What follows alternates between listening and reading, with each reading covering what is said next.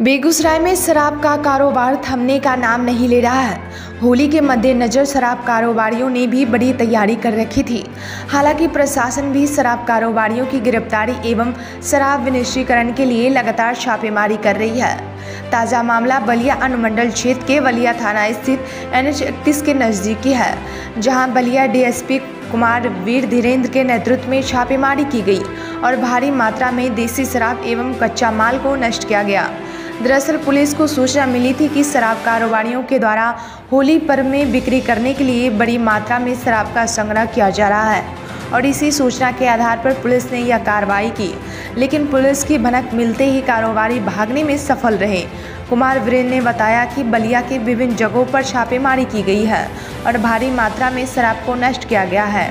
BT news Bihar के लिए बेगूसराय से रविशंकर गन की रिपोर्ट। में किस तरह होली के मद्देनजर किसी भी तरीके का नशीले पदार्थ का जो